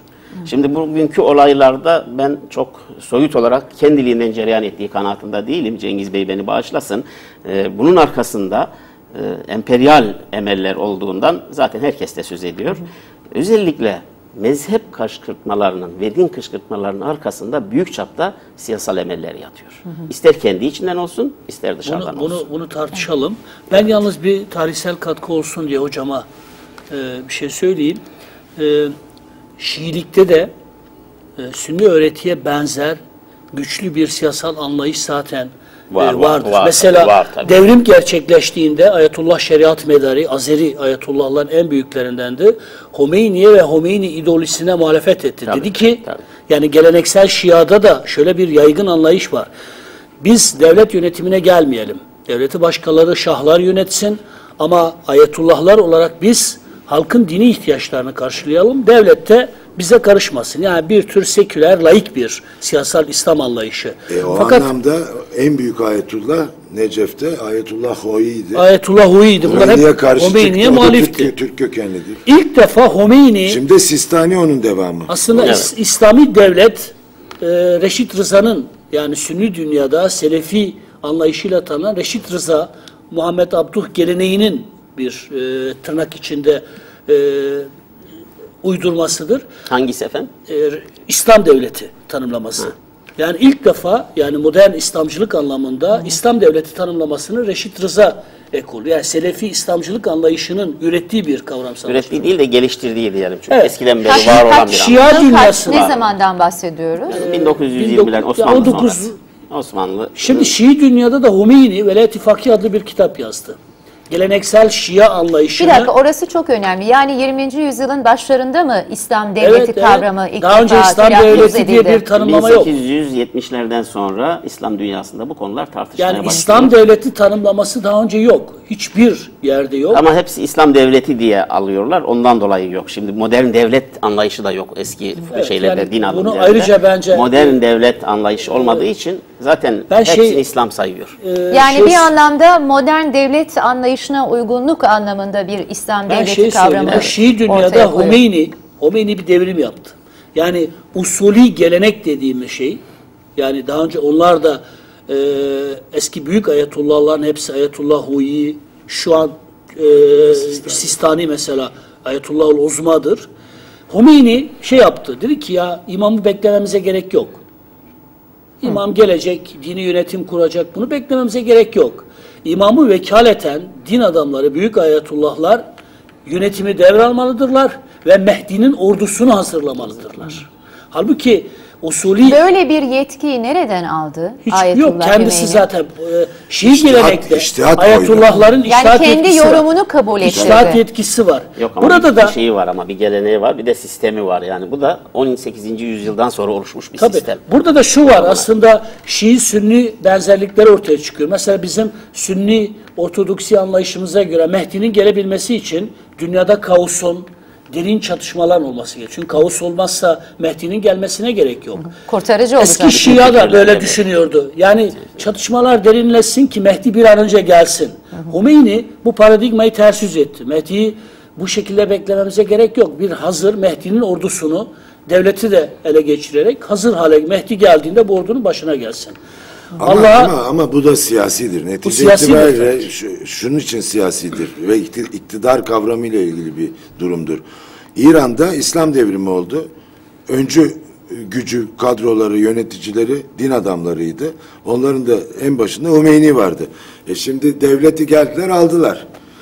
İşte, e, Metine'nin ifade ettiği usulü e, geleneğe göre e, dünyevi iktidardan Şii din adamlarının uzak durması gerekiyor. E, Şii din adamlarının yönettiği bir devrimle Şii din adamları iktidar mevkine gelmiş oturmuş durumdalar. Hümeyni mevcut durumu teorize etti. Teorisini yaptı. Velayeti fakih ilkesiyle şunu söyledi. ya dinsel bir şahlık rejimi kurdular. Ya, kravatlı şah gitti, sarıklı şahlar yani, yani dedi ki e, şimdi bu, bu nedir? Bu dünyevi iktidardır. Aynı zamanda da kendisi de Ayetullah el Uzma sıfatına sahip. E, nasıl e, Şii akidesine de sadık kalacak? Bir uzlaşma teorisi adeta şeklinde bu velayeti fakih ilkesini ortaya attı. Dedi ki Mehdi gelene kadar, gene Mehdi gelecek biz Şii akidesine bağlıyız. Mehdi gelene kadar vekil imam sıfatıyla Yani 12. imam değil o sadece Vekili, imamın vekili. vekili. vekaleten e, bu toplumun yöneticisinin din adamları olması lazımdır. Bir devlet e, İslami olan bir devlet din adamlarının denetiminde olmak zorunda. En yüksek otorite e, fakih yani Velayeti fakih. Velayeti fakih. Hukuk, Şimdi hukuk, orada- hukuk, Evet? Üstad da, konusu. Üstad da bilir devrimin ilk yıllarında çok öne çıkartılan bir slogan vardı. Hudaya, Hudaya ta inkılab-ı Mehdi, Khomeini ranigahtar. ranigahtar. Ya Rabbi, Ya Rabbi, Khomeini'yi Mehdi'nin inkılabına kadar Yani asıl olan o Mehdi'nin gelişidir, Mehdi'nin inkılabıdır. Khomeini Mehdi'nin ordusunun bir neferidir. Yani o dinsel şahlık rejimi de bir anlamda Mehdi'nin ordusunu hazırlamaya dönüyor. Onun Arapçası da birlikte bağırırdı şey diye. İlahi, ilahi hatta zuhurul mehdi ahfazlana Khomeini diye. Aynısı. Arap. Burada İran'la Irak arasında bence demin biz e, sevgili dostumuz Cengiz Çandarlı'da konuşurken aslında Şiiliğin merkezi İran değildir, Irak'tır.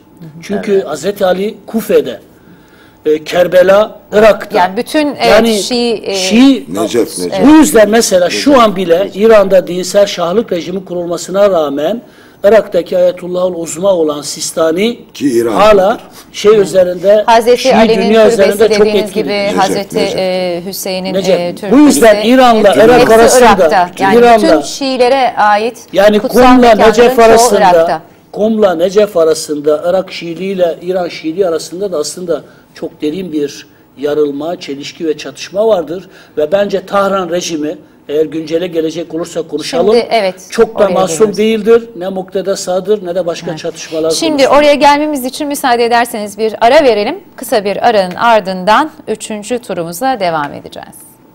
Haber ötesinde bu hafta mezhep savaşlarını değerlendiriyoruz. Tarihten günümüze mezhep savaşlarının uzantılarını değerlendirdik, örnekler verdik. Özellikle Şiilik ve Sünnilik arasındaki temel dini, kültürel ve siyasi farklılıkları konuştuk ve üçüncü turda da günümüze gelmek istiyorum. Evet son dönemde gerçekten son derece düşündürücü ve inanılısı güç olaylar yaşanıyor. E, malumunuz bir Şii türbesi Samara'daki Altın Cami ya da El Askariye Camii bombalandı. Yani çok kutsal bir mekan bombalandı. Tarihi bir mekan bombalandı. E, aynı zamanda da bir kültürel miras olarak addedebileceğimiz bir yerde bu. E, ve bir anlamda buna misilleme olarak ardından e, Sünniler de e, pardon Şiiler de kimi Sünni e, camilere saldırılar düzenlemeye başladılar. Yani 180 kimi dedi. şöyle düşünebiliyor musunuz? Saldırı düzenlenen mekanlar, türbeler, camiler yani artık bunun dahası var mı, bunun ötesi var mı bilmiyorum. Ve bunları e, hangi siyasi argümanla, hangi dini argümanla açıklamak mümkün onu da bilemiyorum ve bu e, konuyla e, üçüncü turu e, yönetmek istiyorum ve bu konudaki sizin açılımlarınızı, açıklamalarınızı merak ediyorum. Yani dış mihraklar, mezhepler arasındaki e, uyuşmazlık, farklılık bunları açıklamaya yeterli mi? E, bölgenin e, sosyal yapısına da bakmamız lazım. Bunu açıklamanın bence en kolay yolu ilkellikle gelişmişlik yahut bedevilikle medenilik arasındaki farktır. Tamamen burada e, bölgenin genelinde de bu Orta Doğu içinde geçerli e, geri kalmışlığın, feodalitenin ve aşiret, akraba e, bağlılığı kavgaları gibi kavgaların e, egemen olduğu bir alan. Şimdi bir şey anlatmıştı bir arkadaşımız bana. Irak'a yakın bir bölgede oluyordu. Dedi ki hocam dedi bunlar dedi insanı öldürürler. Birileri için söylüyordu. Bunlar insanı öldürürler. Aman da namaz vakti geçmesin diye adam orada ölürken namazında kılar dedi. Çok çarpıcı bir örnek. Psikoloji. Bu bir ilkelliğin zirvesi. Zirvesi Çok- yani bildin ki bir bildin örnek. ki bir insanı öldürmeyi bütün insanlığı öldürmüş sayıyor ve siz o insanı niçin öldürüyor o insanı? Ya ak- akraba kavgasından dolayı ya işte aşiret davasından dolayı yahut bundan dolayı. Bakınız burada vurgulamamız gereken bir şey batı- batılı modellerin özellikle sosyolojinin geliştirdiği batılı standartların bölge için uygun olmadığı ve bu bölgeyi çözümlemede bizim kendi şartlarımızdan modeller üretmemiz gerektiği olgusu e, burada çarpıcı bir olgu olarak karşımıza çıkıyor. İkincisi, ilkellik olmayınca, gelişmişlik düzeyi aşağıda olunca ister istemez başkalarının oyuncağı ve aleti olma durumu kendiliğinden ortaya çıkıyor. Ve dolayısıyla orada hedefi olanlar, e, amacı olanlar da bunu kullanıyorlar ve kullanma durumu da söz konusu.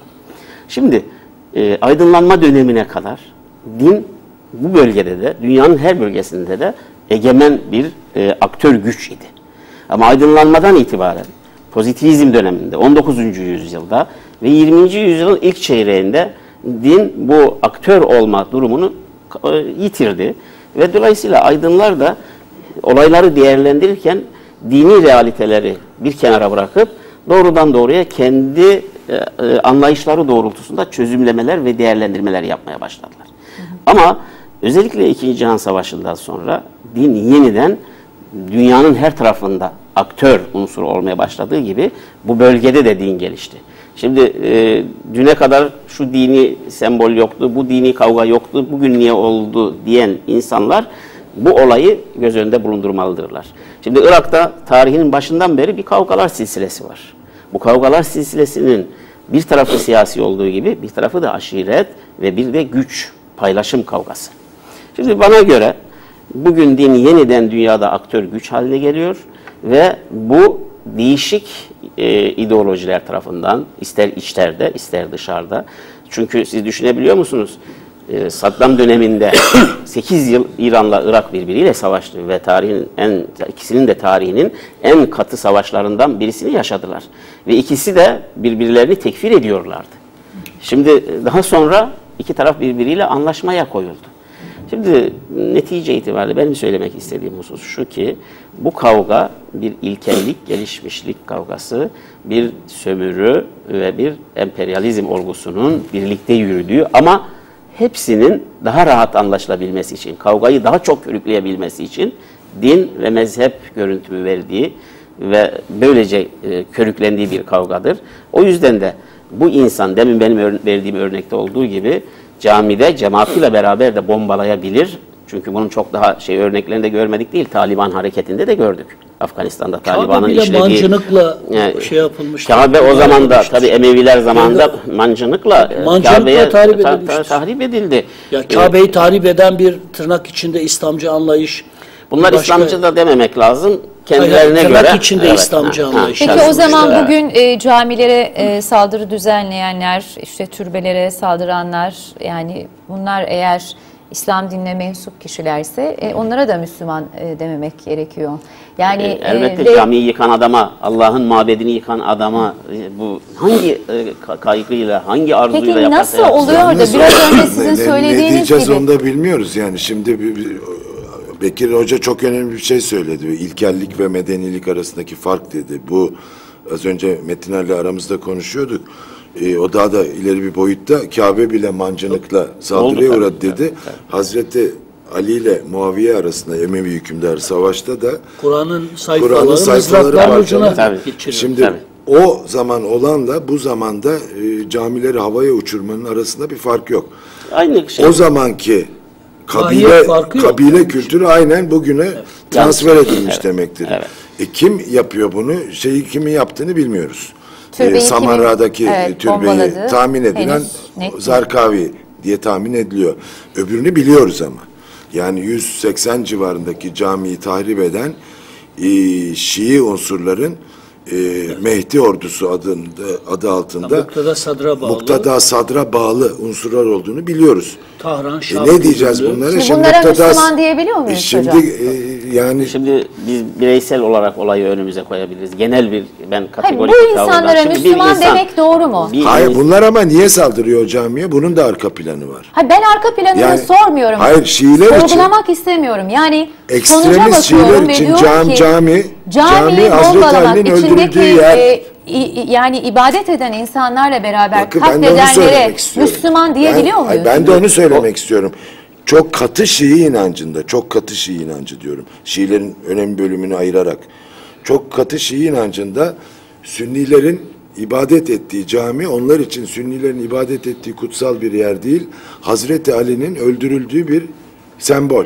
Dolayısıyla onun tahribi bunu yapan Şiiler için bir kutsal yere saldırı gibi algılanmıyor. Peki Şiilerin temelinde yalnız referansı Kur'an Cengiz değil mi? Bey, Cengiz Bey şunu şunu da vurgulamamız lazım. Bu bu ekstrem anlayışlar sadece Şiilerde yok bizde de var, Tabii, öbürlerde tabii, de var. Yani bunları esas alarak bir İslam üzerinden Peki bir şey esas alınması gereken eğer Kur'ansa hep bana Evet, söylenen işte evet, bir evet. insanı öldürmek demek bütün insanlığı öldürmek demek. Evet. E, den hareketle Bu kadar insan öldüren adama nasıl Müslüman Kur'an'da bu söyleniyor ve ardından e, bu katliamlar, e, bu saldırılar yaşanabiliyor. Bütün E, sonra Şöyle, şöyle formüle edelim adı- mi? Ben bir cümleyle İslam adam öldürmeyi haram kılar ama bir Müslüman pekala adam öldürebilir. E, O gayet doğru. Bu şey doğru. Yani adam öldürdü diye Müslümanlıktan çıkmaz ama bir Müslüman İslam'ın o emrine göre adam öldürmemesi gerekir. Peki Haksızlık. bir adam öldürdü diye Müslümanlıktan çıkmıyor ise bu da kendi yani kendi anlayışına göre e, birini katletmeyi, birini öldürmeyi meşru kılmaz mı? Ama burada bir de kasıt söz konusu. Şimdi bir adam kavga etti, bilmem psikolojik bir şeyle öldürdü. Bu ayrı bir hadise. Sizin vurguladığınız ayrı bir hadise. Adam camiyi bir küfür yuvası olarak görüyor da ve buradaki insanları kafir olarak görüyor ve öldürdüğü zaman sevap kazandığını düşünüyorsa nitekim bizde evlerin altına insanlar gömüldü yani. Üzerinde de namazlar kılındı. Yani bizim de geçmişte e, son Sicilimiz çok temiz On- değil. 10-15 se- yok bizim değil o. Yani neyse artık oraya girmiyorum ama on- 5-10 sene önce doğuda bunu gördük. Yani insanlar öldürülüp üzerinde camiler yapıldı. Yo yeni Şimdi- işte Hizbullah'ın e, İşte evlerinde Ben işte- domuz işte- bağıyla insanların ben işte boğazlandığını işte onu biliyoruz. söylüyorum. Ben isim vermedim, siz ismini söylediniz. Şimdi Ama isim vermek lazım ki bunlar e, örnek Tabii. yani bunları tartışmak Tabii, lazım tabii, ki tabii, bunların tabii. devamı olmasın. Tabii tabii. Şimdi ben sizin sorunuza net cevap veriyorum. Böyle bir anlayışla eğer camiyi yıkıyorsa o adam kafirdir. Onun için zaten bunlar ben yıktım diye kimse çıkmıyor dikkat ederseniz. Hep bilinmeyen bir takım şeyler adına bazıları söylüyor. Bir kişi çıksa dese ki evet bunlar dinsizdir, namaz kılıyorlar burada ve ben de bunun için yıktım dese o adam kafirdir. Peki burada Şii liderlerin e, örneğin beyanatları e, bu tür saldırıları durdurabilecek nitelikte değil miydi? Özellikle de e, Şii liderlerin e, son dönemde hep konuşulan istediğiniz kadar işte e, seçimler konusunda siz siyasi kriterleri göz önünde bulundurun. E, Irak'ın e, coğrafyası çok farklıdır ve orada Şii liderlerin sözü çok geçer deniliyordu seçimler öncesinde.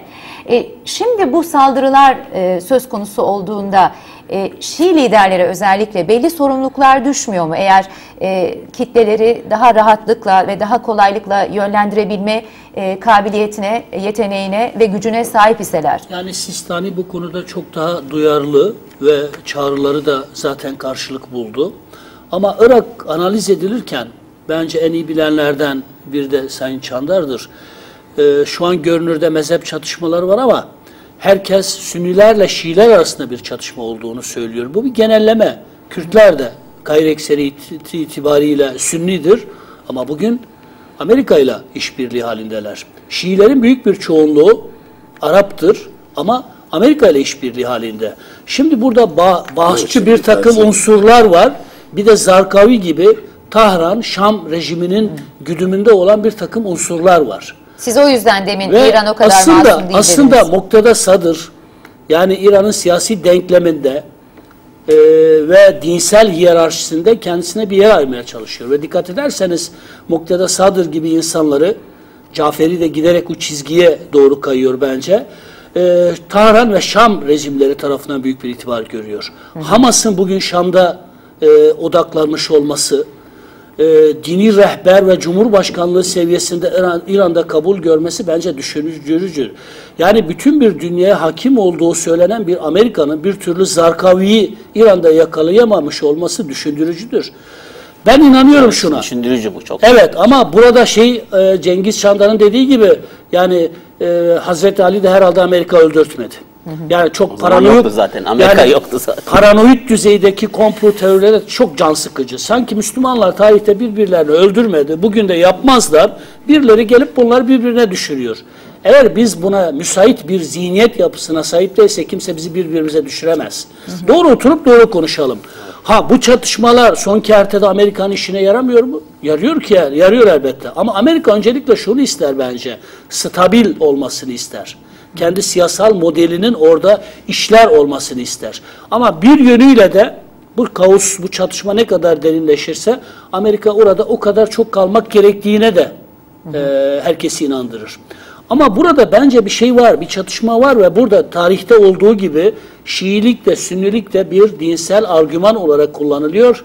Yani Zarkavi gibiler e, ne yazık ki Sünniliği çok katı, bağnaz bir Selefi ideolojiyle de örtüştürerek kullanıyor ve buna bir takım basist unsurlar da giriyor.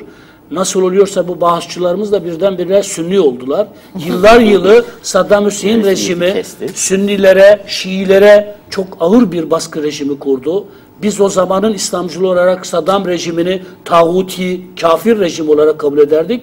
Ama sırf Amerika'ya karşı direndikleri için bugün İslam mücahitleri gibi görülmeye başladılar. Bu İslamcılık adına derin bir utançtır bence. Basist unsurların e, Sünniliği, İslamcılığı kullanarak yeniden İslam mücahitleri olarak tarafımızdan algılanması bence İslamcılık adına utanç vericidir. E, bir de şu var, çok rahat bir biçimde bunları konuşalım. İnşallah Mukteda Sadır'ı Türkiye kabul etmez. Yani Caferi'nin de artık ne kadar Irak'ın ulusal birliğini sağlayıp sağlamayacağı belli değil. Ama eskiden de Eskiden de Türkiye'de bir takım Şii unsurlar kalkın Şah'a gidelim derlerdi. Yani Şah İsmail ya Safevi dergahı aynı zamanda güçlü bir manevi çekim merkeziydi. Şahlık sadece dinse e, e, dünyevi bir imparatorluk değildi. Yani Safevilik deyip geçmemek lazım. Çok güçlü bir manevi dergahtır ve Türkiye'deki. Şiiler bile kalkın Şah'a gidelim diye. Çünkü orası bir tür Kabe olarak görülürdü.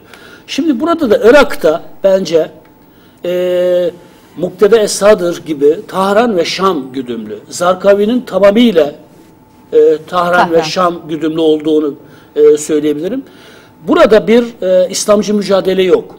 Yani İslami direnişçiler yok. Doğrudan doğruya terör uygulayan. Amerika'nın yapıp ettiklerinin yanlışlığını tabii ki sorgulayacağız. Amerika terör uyguluyorsa tabii ki eleştireceğiz. Ama sırf Amerika'ya direndikleri için bugün e, bir kısım e, terörist unsurların İslam mücahitleri gibi görülmesi de bence İslamcılıktan bir sapmadır. Çünkü İslam hiçbir terör eylemliliğini tasvip etmez. Ama burada hemen şunu söyleyelim. Doğru oturup doğru konuşmak adına İslam terörü e, caiz görmüyor demek hiç kuşkusuz bir doğrudur. Ama bu şu anlama asla gelmiyor. Bir İslamcı pekala bir terörist olabilir. Dolayısıyla tırnak içinde İslamcı terörist yakıştırması yanlış değildir. Ama hiçbir surette İslam teröre izin vermez, şiddete izin vermez. Ama bugün bence İslam'ı da kullanarak Irak denkleminde kendilerini bir yere oturtmaya çalışan güç odakları var.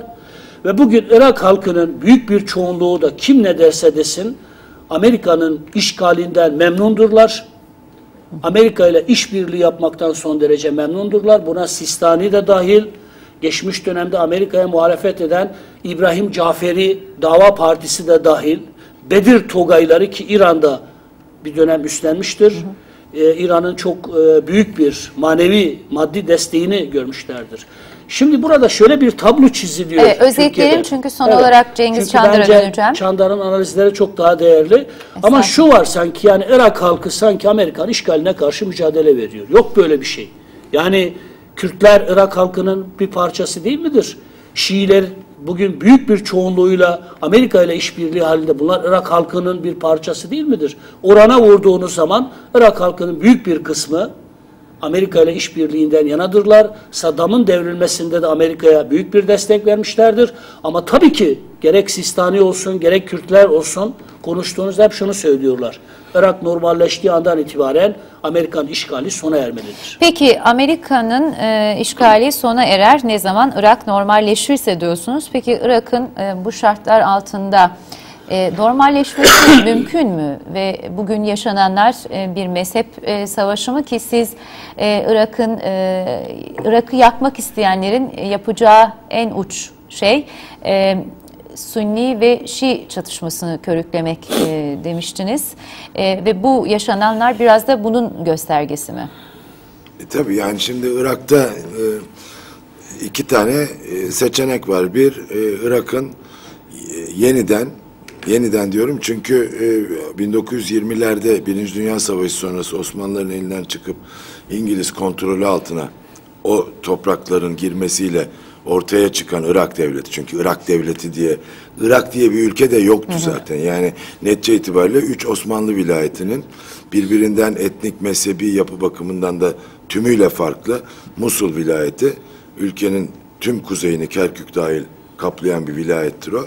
E, Bağdat vilayeti Sünni Arap ağırlıklı bir coğrafya. Bir de güneyde Basra vilayeti o da Şii Arap ağırlıklı. Her üçü de İstanbul'a bağlı olan, birbirine de bağlı bir merkezi durumu olmayan üç Osmanlı vilayetinin Irak adı altında İngilizler tarafından yarattığı bir e, devletti bu. Bu devlet 2003 yılındaki savaşta ortadan kalktı. Şimdi yeni bir Irak'ın kurulması var. Bütün eski bagajlarıyla birlikte, eski yükleriyle birlikte kurulmaya çalışılıyor. Ya böyle bir devlet kurulacak ya da parçalanacak o, o coğrafya. Nasıl parçalanacak? Parçalamanın en kestirme ve en etkili yolu Şii-Sünni çatışmasından. Başka türlü parçalanamaz çünkü. Hı hı. Mümkün değil. Yani hep Kürt-Arap savaşı, Kürtler ayrılık e, yoluna gider deniyordu. E, coğrafi olarak Kürt-Arap savaşı pek mümkün değil. Çünkü Kürtler bir dağlık e, Cebel Hamrin denen Irak'ı yata, e, diagonal kesen bir bölgenin arkasında coğrafi devamlılığa sahip askeri hep bir güçleri hep bir aradalar. Bin, bin küsur yıldır aynı yerdeler. E bundan önce olmadı mı oldu da ordusu vardı. Bağdat e, rejiminin. Şimdi öyle bir e, merkezi Arap rejimi olmadığı için e, Araplar Araplar dediğiniz Sünniler, Şiiler olarak zaten şu anda birbirine girmiş iki büyük topluluğu ifade ediyor. Tutup Kürtlere nereye gidiyorsunuz diyecek durumda değiller. Yani Kürtler biz ayrılmak istiyoruz derse Kürt-Arap savaşı çıkmaz Irak'ta. Çünkü Bağışçı Araplar da Sünni. Yani şimdi Şii Araplar kısmı. da. Ee, Ama Sünnilerle e, Şiiler Ay arasında şimdi yani Kürtlerin bağımsızlık ilanını engelleyen Savaş uluslararası konjonktür. Kürtler de uluslararası konjonktüre riayet edip bağımsızlık ilanına gitmedikleri sürece de bir Kürt-Arap savaşı ihtimali de zaten yok iken hiç yok. Nasıl peki Irak'ta alır? Şii-Sünni çatışmasıyla, savaşıyla dağılabilir. Şimdi öyle bir dönemdeyiz ki biz bir yandan Irak bir şekilde toparlanmaya çalışıyor, bir yandan da dağılma ihtimali bu hele son olayların ortaya koyduğu şekliyle Şii-Sünni çatışmasıyla dağılma ihtimali de taşıyor. Ee, manzara bu. Nereye, nasıl gideceğini yaşayarak ancak Aslında öğrenebileceğiz. kavga Arapların kendi içindeki bir kavga. Yani Şii Araplarla tırnak içinde Sünni Arapların. Daha Yani- önce Sünni azınlık, Arap kökenli Sünni Ama o azınlık zaman iktidarı elde tutuyordu. mezhep savaşı mıdır e, sorusuna nasıl yanıt Ay başka bir vereceğiz? sürü şeyin Ama için. parçalanması için üstadın dediği gibi Şii Sünni şeyin kullanılması Ama gerekiyor. o, o bile yetmiyor. Yani Irak dediğiniz Irak'tan daha geniş anlamlar taşıyan bir yer. Bütün bölgesel dengeleri tayin edici bir merkezi rolü var Irak'ın. Dolayısıyla Amerika-İran çatışması ya da Batı sistemiyle e, İran, Suriye ekseni arasındaki çatışma. Büyük Orta Doğu Ee, planı içerisinde. bilmem Suudi Arabistan'ın ve e, İran'ın Körfez üzerindeki e, güvenlik doktrinlerine bağlı e, rekabetleri e, Sünni Arap dünyasıyla e, İran ve Arap dünyasındaki Şiilerin durumunun yansıması bütün bunlar Irak'ın üzerinde e, etkili bir şekilde birbirlerini kendi aralarını örüyorlar. Dolayısıyla bu e, Irak dağılırsa şayet Orta Doğu dağılır. Yani sadece Irak'la sınırlı kalmaz o. Çünkü bugünkü Irak sınırları diğer Orta Doğu ülkelerinin sınırlarının çizildiği sırada çizilmişti. Bu sınırı Irak'ın dağılacaksa o zaman Orta Doğu'daki hiçbir sınır dikiş tutmaz. Yani Ürdün niye o sınıra sahip? Suriye niye o sınıra sahip? Sonradan Bizim oluşturulmuş yapay Bizim- sınırlar. bizim- tabii yani şimdi o yüzden mesele büyük bir mesele ve bu mezhep mücadelesi uluslararası güç mücadeleleriyle o noktada e, Bekir Karla hocamızın az önce bana bağışlasın diye estağfurullah diyerek söyleyeyim yaptığı göndermeye de gelmiş oluyoruz. Bu bu sözünü ettiğimiz bölge de dünyada petrol rezervlerinin üçte ikisinin bulunduğu bir bölge. Dolayısıyla bu dünya çapındaki büyük güç mücadelelerinin alacağı şekil ve sonuçla da ilgili mezhep kısmı bu işin eee, araçlarından biri. Yani bu mücadeleyi verme araçlarından onun bir yansıması olarak çıkıyor. Bir, bir şey İç içe yani istiyorum. hepsi. Son bir cümleniz varsa alayım. Evet, Şimdi bu sınırları bu sınırları çizenlerin hatıralarını doğru okumamız lazım. bu sınırları çizenlerden Alembi, e, Ma- Massignon, Louis Massignon meşhur Fransız düşünürü, bilim adamı Louis Massignon, Allenby bu sınırları çizdiler. Onlarla beraber başkaları da vardı. Şimdi Massignon'un yazdıklarına bakacak olursak, biz öyle bir sınır çizdik ki Orta Doğu'da iki devletin birbiriyle barış içinde yaşaması son derece zor olacak. Ve bu sınır çizilirken, bizimle Irak sınırı çizilirken hiçbir reel gerçek göz önünde bulundurulmadan muhayyel olarak ama belirli bir kastı da olan bir şekilde sınır çizilmiştir. Şimdi bugün e, 1920'den bugüne bunu yansıttığımız zaman bu ihtilafların nerelerden kaynaklanacağını bu sınırı çizenler çok iyi biliyorlardı. Ama bana göre. Avrupa'da da böyle sorunlu sınırlar var. Sırf Orta Doğu'da değil. Hayır abla bizimki yeni çizildi yani bizden sonra çizildi. Yani Osmanlı. Devleti yıkılırken çizildi. Sizin Masignon- söylediğinize katılıyorum ama bu sanki Avrupalılar özellikle ben hayır ben isim Ya söyledim. Avrupa'da da böyle sorunlu Ay, sınırlar Afrika'da olur, da yapay olur. olarak e, Yapı- çizilmiş Ama çok hocamın sınır var. Fakat Yani. Massignon, Massignon Niye Nijerya e, en e, zengin petrol rezervlerine sahip ülkelerden biri? Üçte ikisi diyorum. Dünya petrol rezervlerinin bu bölgede duruyor hala. yani. Masignon bu bölgede adım adım gezmiştir. Ve hatta bizim güneyimizde onun macerası vardır. Massignon'u iyi okuduğumuz zaman bu çizilen sınırların arka planını da doğru okuruz. Yani bugün e, sahnede görünen Yani mezhep savaşları olarak adlandırdığımız gün e, mücadelenin ve çatışmanın bir iktidar, arkasındaki bir iktidar savaşıdır. farklı Irak'taki faktörleri bir iktidar savaşıdır. Arap Arap çatışmasıdır. Büyük ölçüde geçmiş dönemde Sünni azınlık olan Araplar, Bahsist Araplar iktidarlarını yitirmişlerdir. Şimdi gene Arap olan Sünni çoğunluk iktidara gelirken Şey, Şii. Şii çoğunluk Arap'tır aslında. Arap, Yani Şiiler de Arap'tır. Bağızçı e, Şii, Sünniler de Arap'tır. Ama hiç kimse nedense Arap-Arap savaşı olarak bakmıyor. Çünkü orayı parçalamak için ancak siz Şii ve Sünni argümanını kullanırsanız başarılı olabilir. Kürtlerde Şii olan var mı? Var. Çok az, çok az. faili Kürtler çok var. az. Bir de şeylerde, İran Türkmenlerde, var. Türkmenlerde, Türkmenler- Türkmenlerde Yarısı- Şii var. Daha yarısı- fazla. Türkmenlerdeki Öyle Şiiler daha fazla. Irak'ta çok az sayıda e, Şii Kürt var. Kahir ekseriyeti Sünnidir, Şafii'dir. Ama e, Türkmenlerin büyük bir çoğunluğu Şii'dir. Kimse bu e, şeyi bu, görmüyor ve e, Şi- e, Türkmenlerin büyük bir kısmı da gene Sistani'nin partisinin e, partisine oy. Sayın Profesör Doktor Bekir Kala, e, yazar Sayın Me- Mehmet Metiner ve gazeteci yazar Sayın Cengiz Çandar ve tabii e, yine gazeteci yazar e, Sayın Taha Akyol'a e, çok teşekkür ediyorum. Gerçekten sayenizde e, tarihiyle, bugünüyle e, mezhepleri e, çok geniş bir şekilde ve derinlikli bir şekilde e, işleme ve e, yorumlama şansı bulduk. Dolayısıyla e, katkılarınız ve değerlendirmeleriniz için çok teşekkür ediyorum. Çok sağ olun. Teşekkür ederim.